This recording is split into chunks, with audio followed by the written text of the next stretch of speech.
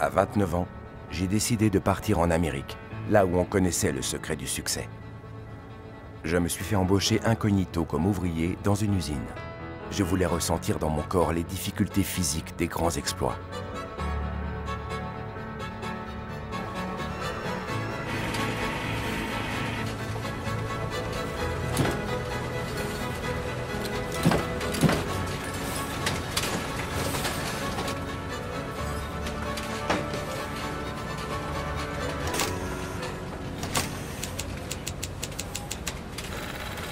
J'étais abasourdi.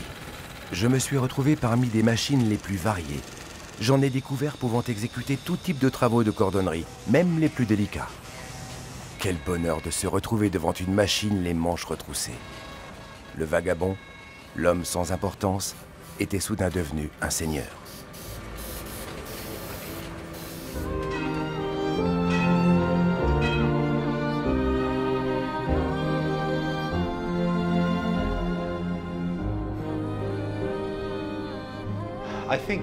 Je pense qu'il a vraiment construit une cité-jardin utopique,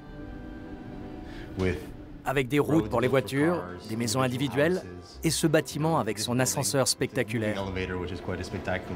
Cette ville est la concrétisation du rêve américain.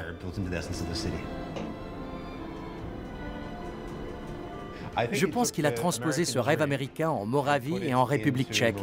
Il a montré à ses compatriotes que peu importe d'où on venait, et même si c'était du fin fond de la Moravie, on pouvait quand même devenir un leader mondial ou un brillant entrepreneur. C'est ça le rêve américain. Et ce modèle a fait ses preuves en Tchéquie et dans le monde entier.